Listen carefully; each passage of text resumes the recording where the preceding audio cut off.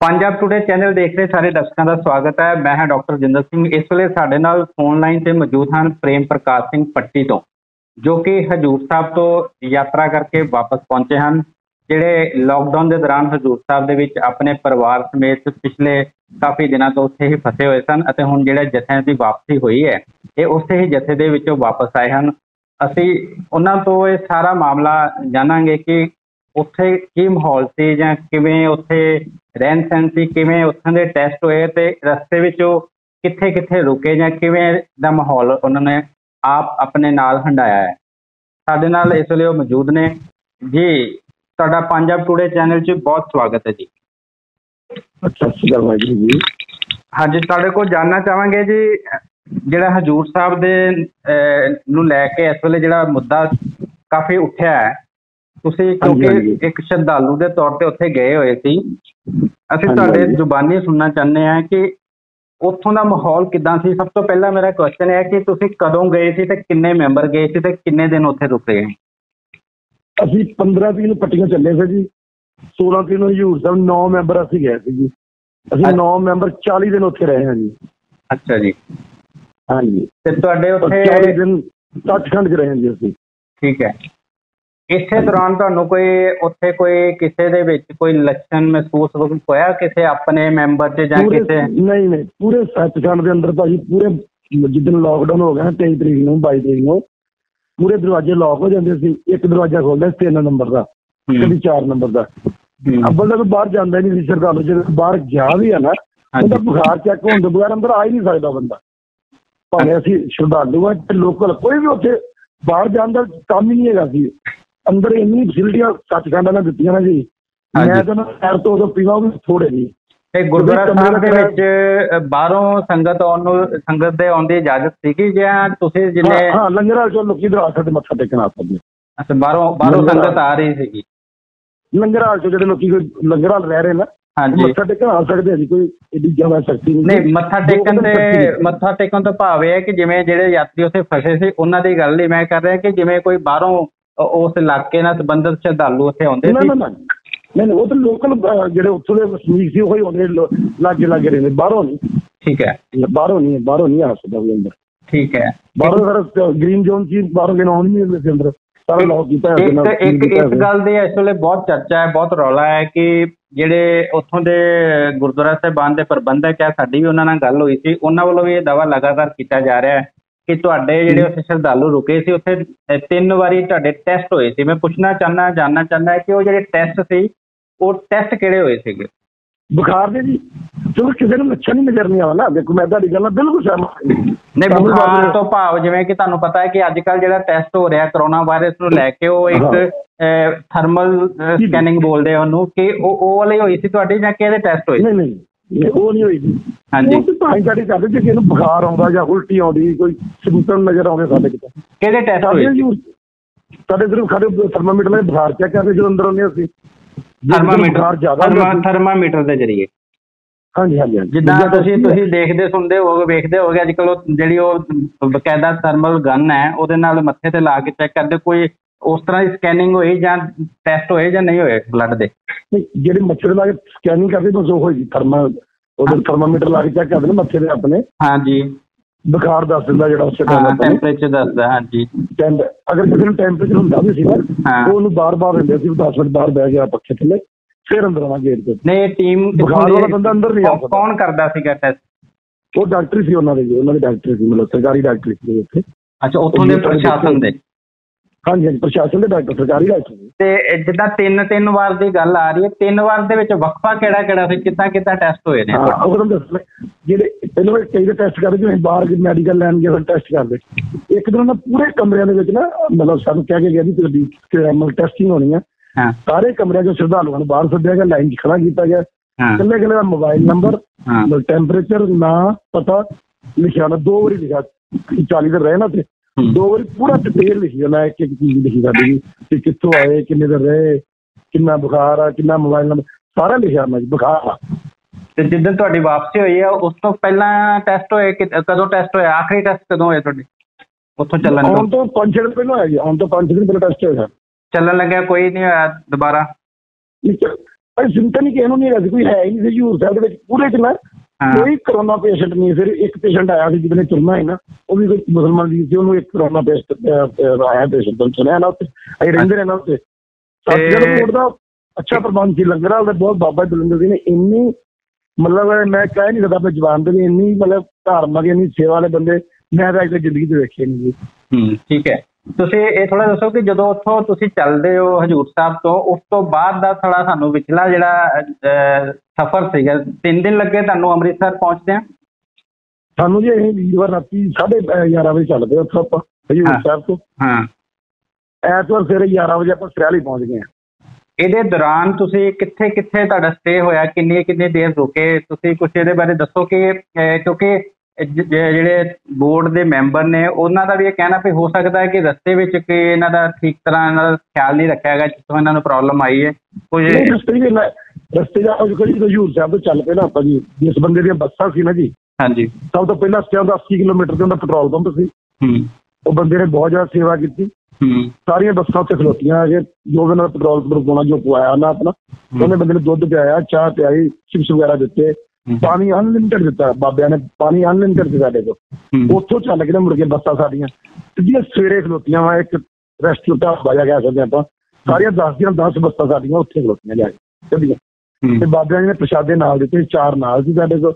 ਸਾਰੀ ਸੰਗਤ ਨੇ ਮੋਸਟਲੀ ਖਾਦਾ ਕਿਸੇ ਨੇ ਨਹੀਂ ਖਾਦਾ ਕਿਸੇ ਨੇ ਰਸ ਖਾ ਲਏ।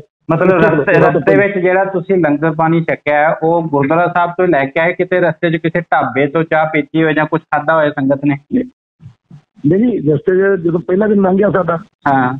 ਸਵੇਰੇ ਸਵੇਰੇ ਨਾਸ਼ਤਾ ਕਰ ਲਿਆ ਜਾਣੀ ਕਿ ਮਿੱਠੇ ਪ੍ਰਸਾਦੇ ਦੇ ਨਾਲ ਸੀ ਖਾ ਲਏ। ਹੂੰ। ਫਿਰ ਰਾਤ ਤੱਕ ਤਾਂ ਭੁੱਖ ਲੱਗਣੀ ਸੀ ਨਾ ਜੀ। ਹੂੰ।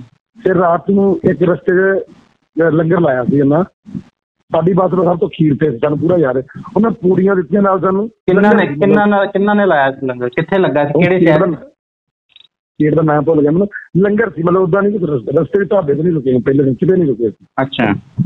ਸ਼ੁੱਕਰਵਾਰ ਰਾਤ ਹੀ 2 ਵਜੇ ਸੁੱਤੇ ਸਾਡੇ ਡਰਾਈਵਰ ਇੱਕ ਦੀ ਸਾਡੀ ਬੱਸ ਦਾ। ਇਹ 2 ਵਜੇ ਲੰਮੇ ਪਏ ਫੁੱਟਪਾਥ ਤੇ ਬਾਹਰ ਹੀ ਸੜਕ ਜੀ ਤੇ ਹੀ। ਅੱਛਾ। ਤੇ 5 ਵਜੇ ਉੱਠ ਕੇ ਤੁਰ ਪਏ ਅਸੀਂ ਉੱਥੇ ਜੀ ਇਹ ਕਿੰਨੇ ਜਾਣੇ ਸੀ ਤੁਸੀਂ ਸਾਰੇ ਉਸ ਉਹ ਜਿਹੜਾ ਤੁਹਾਡਾ ਉੱਥੋਂ ਜੱਥਾ ਨਿਕਲਿਆ ਉਦੋਂ? ਬੱਸ ਦੇ ਵਿੱਚ 25 ਜਣੇ ਸੀ 30 32 ਜਣੇ ਤੋਂ ਹੈ ਹੀ ਨਹੀਂ ਕਿ ਬੱਸ 'ਚ ਕੋਈ। ਕੁਐਸਚਨ ਇਹ ਸੀ ਵੀ ਜਿਵੇਂ ਤੁਸੀਂ ਦੱਸਿਆ ਵੀ ਇੱਕ ਜਗ੍ਹਾ ਤੁਸੀਂ ਰੁਕੇ ਉੱਥੇ ਪੂੜੀਆਂ ਵੀ ਖਾਧੀਆਂ ਤੇ ਅਗਲੇ ਦਿਨ ਤੁਸੀਂ ਫੁੱਟਪਾਥ ਤੇ ਸੌਂ ਕੇ ਸਵੇਰੇ ਉੱਥੋਂ ਚੱਲ ਪਏ। 5 ਵਜੇ ਚੱਲ ਪਏ ਹਾਂ ਉਸ ਤੋਂ ਬਾਅਦ ਹਾਂ, ਅਗਲਾ ਚੱਲ ਸਟੇ ਕਿੱਥੇ ਹੋਇਆ ਰਸਤੇ 'ਚ? ਹਾਂ ਰਸਤੇ ਦੇ ਵਿੱਚ ਚਾਹ ਪੀਤੀ ਜੀ ਢਾਬੇ ਤੇ। ਢਾਬੇ ਤੇ। ਉਹ ਕਿ- ਰਸਤੇ 'ਚ। ਕਿਹੜੀ ਜਗ੍ਹਾ ਤੇ ਸੀ? ਨਾ ਭੁੱਲ ਗਿਆ ਜੀ ਭੀਲੀ ਵਾਲਾ ਗੁਰਦੁਆਰੇ ਤੋਂ ਪਹਿਲਾਂ ਭੀਲੀ ਵਾਲਾ ਗੁਰਦੁਆਰਾ ਆਉਂਦਾ ਨਾ ਜੀ ਇੱਕ ਰਸਤੇ 'ਚ। ਅੱਛਾ। ਤਾਂ ਉਹ ਮਤਲਬ ਜਿੰਨੀ ਜਿੰਨੀ ਸੰਗਤ ਹੈ ਸਾਰਿਆਂ ਨੇ ਉੱਥੇ ਚਾਹ ਪੀਤੀ? ਨਹੀਂ ਸਾਰਿਆਂ ਨੇ ਨਹੀਂ ਹਾਂ। ਦੋ ਕੁ ਬੱਸਾਂ ਨੇ ਸਾਰਿਆਂ ਨੇ ਨਹੀਂ। ਅੱਛਾ ਦੋ ਬੱਸਾਂ ਨੇ। ਦੋ ਬੱਸ ਸਾਡੀ ਬੱਸ ਇੱਕ ਬੱਸ ਹੋ ਸੀ। ਫਿਰ ਅਸੀਂ ਭੀਲੀ ਵਾਲੇ ਗੁਰਦੁਆਰੇ ਰੁਕੇ ਆ ਕੇ। ਗੁਰਦੁਆਰੇ ਦੇ ਅੰਦਰ ਨਹੀਂ ਗਿਆ ਕੋਈ ਵੀ। ਥੋੜਾ ਮੈਨੂੰ ਇਹ ਦੱਸੋ ਵੀ ਜਦੋਂ ਤੁਸੀਂ ਫਿਰ ਅੰਮ੍ਰਿਤਸਰ ਪਹੁੰਚੇ ਉਸ ਤੋਂ ਬਾਅਦ। ਤੁਹਾਡੇ ਜਿਹੜੇ ਟੈਸਟ ਹੋਏ ਆ ਹੁਣ ਟੈਸਟ ਕਿਹੜੇ ਹੋਏ ਔਰ ਕਿੱਦਾਂ ਹੋਏ ਉਹ? ਅਸੀਂ ਅੰਮ੍ਰਿਤਸਰ ਨੇ ਰਸਤੇ ਅਸੀਂ ਪੱਟੀ ਰਹਿੰਦੇ ਨੇ ਸਰਿਆਲੀ ਉਤਰ ਗਏ ਸੀ ਅਸੀਂ ਸਰ ਵਾਲੀ ਠੀਕ ਹੈ। ਸਾਨੂੰ ਪੁਲਿਸ ਵਾਲਾ ਕਹਿੰਦਾ ਵੀ ਸਰਿਆਲੀ ਉਤਰਨਾ। ਜਿਹੜੇ ਮੇਰੇ ਬਾਕੀ ਮੈਂਬਰ 7 ਨੰਬਰ ਵਾਲੇ ਬੱਸ ਸੀ ਉਹ ਤਰਨਤਾਰਨ ਉਤਰੇ ਨੇ। ਹੂੰ। ਅਸੀਂ ਤਿੰਨ ਤਿੰਨ ਮੈਂਬਰ ਜਿਹੜੇ ਸਰਿਆਲੀ ਉਤਰੇ ਆ। ਠੀਕ ਹੈ। ਸਰਿਆਲੀ ਸਾਨੂੰ ਡਾਕਟਰ ਵੀ ਮਿਲੇ ਐਕਚੁਅਲੀ ਤੀਨਦਾਰ ਸਾਹਿਬ ਵੀ ਜਾਣ ਗਏ ਸੀ ਹਾਂ ਤੇ ਸਾਨੂੰ ਇਹਨਾਂ ਪਹਿਲਾਂ ਕਿਹਾ ਵੀ ਤੁਹਾਨੂੰ ਗੱਡੀ ਛੱਡ ਕੇ ਆਏਗੀ ਇਹ ਗੱਲ ਸਾਨੂੰ ਮਾਰੀ ਲੱਗੀ ਬਾਅਦ ਜਿਹੜੇ ਵੀ ਗੱਡੀ ਆਪਣੀ ਮੰਗਾ ਲਓ ਅੱਛਾ ਫਿਰ ਇਹ ਸਰਿਆਲੀ ਆਪਣੇ ਬੇਟੇ ਨੂੰ ਸੱਦਿਆ ਨੂੰ ਉੱਥੇ ਗੱਡੀ ਮੰਗਾਈ ਨਾਲ ਆਪਣਾ ਦੋਸਤ ਸੱਦਿਆ ਕਿ ਮੈਂ ਹਾਂ ਫਿਰ ਸਰਿਆਲੀ ਨੂੰ ਉਤਰੇ ਉਹਨਾਂ ਨੂੰ ਸਾਨੂੰ ਚਾਹ ਪਾਣੀ ਪੁੱਛਿਆ ਐਂ ਨਹੀਂ ਕੀਤਾ ਫਿਰ ਉਹਨਾਂ ਨੇ ਪਾਣੀ ਦਾ ਕੌੜਾ ਜਿਹਾ ਪਿਆ ਵੀ ਸਾਨੂੰ ਲੱਗਿਆ ਪਿਆ ਮਤਲਬ ਅੱਛਾ ਚੈੱਕ ਚੁੱਕ ਕਰਨਾ ਸੀ ਸਾਨੂੰ ਪਿਆ ਐਂ ਉਹਨਾਂ ਨੇ ਕਿਹਾ ਵੀ ਪਾਣੀ ਕੌੜਾ ਬੜਾ ਹਾਂ ਉਹ ਗਈ ਡਿਊ ਮੈਂ ਨਹੀਂ ਡਿਊ ਭਾਈ ਮਿੱਠੀ ਹੁੰਦੀ ਚਲੋ ਮੈਂ ਟੈਸਟ ਕੀਤਾ ਸਾਡਾ ਕੁਝ ਫਿਰ ਅੱਛਾ। ਮੈਂ ਬੁਖਾਰ ਥੋੜਾ ਚੈੱਕ ਕੀਤਾ। ਅੱਛਾ। ਫਿਰ ਤੁਹਾਨੂੰ ਮੈਂ ਦੇ ਦਿੱਤਾ ਜੀ ਜਦੋਂ ਬੁਖਾਰ ਚੈੱਕ ਕੀਤਾ ਉਦੋਂ ਕਿੰਨਾ ਆਇਆ ਟੈਂਪਰੇਚਰ ਤੁਹਾਡਾ ਦੱਸਿਆ ਉਹਨਾਂ ਨੇ? ਇਹ ਨਹੀਂ ਕੀਤਾ ਪੁੱਛਿਆ ਨਹੀਂ ਪਰਚੀ ਦੇ ਹੁੰਦੀ ਦਿੱਤੀ ਨਾਲ ਮੈਂ ਕਿਹਾ ਨਹੀਂ ਉਦੋਂ ਤੁਹਾਨੂੰ ਉਹਨਾਂ ਨੇ ਕੁਝ ਕਿਹਾ ਨਹੀਂ ਵੀ ਕੁਝ ਨਹੀਂ ਨੇ ਬਿਲਕੁਲ ਠੀਕ ਸਰ ਉਹਨਾਂ। ਨੇ ਤੁਹਾਨੂੰ ਭੇਜ ਦਿੱਤਾ ਘਰ ਭੇਜ ਦਿੱਤਾ। ਹਾਂਜੀ ਹਾਂਜੀ। ਉਸ ਤੋਂ ਬਾਅਦ ਫਿਰ ਕਿਵੇਂ ਤੁਹਾਨੂੰ ਦੁਬਾਰਾ? ਦੋ ਦਿਨ ਆਪਾਂ ਘਰੇ ਰਹੇ ਜੀ ਤੇ ਦੋ ਦਿਨ ਆਪਾਂ ਘਰੇ ਰਹੇ ਆ ਕੇ ਜੀ। ਠੀਕ ਹੈ। ਫਿਰ ਸਾਨੂੰ ਮੰਗਾ ਸਰਕਾਰੀ ਹਸਪਤਾਲ ਤੋਂ ਫੋਨ ਆਇਆ ਵੀ ਤੁਹਾਡੇ ਟੈਸਟ ਹੋਣੇ ਆ। ਟੈਸਟ ਕਰ ਲਓ ਜੀ। ਫਿਰ ਦੇਖੋ ਜੀ ਚਲੋ ਸਰਕਾਰ ਚੰਗੀ ਮਾਰੀ ਪਾਣੀ ਕਹਿੰਦੇ। ਲੈ ਕੇ ਸਾਨੂੰ ਐਂਬੂਲੈਂਸ ਚ ਗਏ ਆ ਜੀ। ਹਾਂ। ਆਏ ਆਏ ਅਸੀਂ ਰਿਕਸ਼ੇ ਤੇ ਆ ਜੀ। ਸਭ ਤੋਂ ਮਾਰੀ ਵਾਲੇ ਲੱਗੀ ਆਪਣੀ। ਅੱਛਾ। ਸ਼ਹਿਰ ਦੀ ਤੁਹਾਨੂੰ ਬਦਨਾਮੀ ਹੈ।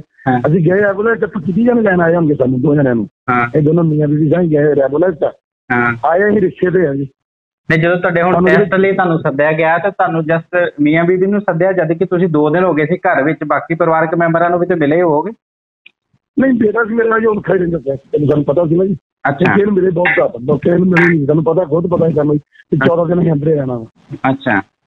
ਅਸੀਂ ਨਹੀਂ ਮਿਲੇ ਕਿਸੇ ਨੂੰ ਤੇ ਤੁਹਾਡੇ ਦੋਨਾਂ ਹਸਬੰਡ ਵਾਈਫ ਦੇ ਟੈਸਟ ਹੋਏ ਫਿਰ? ਹਾਂਜੀ ਹਸਬੰਦ ਦਾ ਇੱਕ ਮੁੰਡਾ ਹੋਰ ਸੀ ਨਾਲ ਸੀ ਤੇ ਉਹ ਹਸਪੀਟਲ ਦੇ ਵਿੱਚ ਹੀ ਰਹਿੰਦਾ ਸੀ। ਅਸੀਂ ਤਿੰਨ ਜਣੇ ਉੱਤਰੇ ਸਨ ਉੱਧਰ। ਮਤਲਬ ਤੁਹਾਨੂੰ ਤਾਂ- ਤੁਹਾਨੂੰ ਜਿਹੜੇ ਟੈਸਟ ਹੋਏ ਨੇ ਹਜੂਰ ਸਾਹਿਬ ਜਿਹੜੇ ਟੈਸਟ ਹੋਏ ਆ ਤੇ ਜਿਹੜੇ ਹੁਣ ਇੱਥੇ ਸਰਾਲੀ ਹੋਏ ਉਹਨਾਂ 'ਚ ਤੁਹਾਨੂੰ ਖੁਦ ਨੂੰ ਇਹ ਫ਼ਰਕ ਮਹਿਸੂਸ ਹੋਇਆ ਨਾ ਕਿ ਜਿਹੜੇ ਅਸਲੀ ਟੈਸਟ ਹੁੰਦੇ ਨੇ ਕਰੋਨਾ ਵਾਇਰਸ ਨੂੰ ਜਾਣਨ ਲਈ ਉਹ ਉਹ ਹੋਏ ਤੁਹਾਡੇ ਉਹ ਹੋਏ ਆ।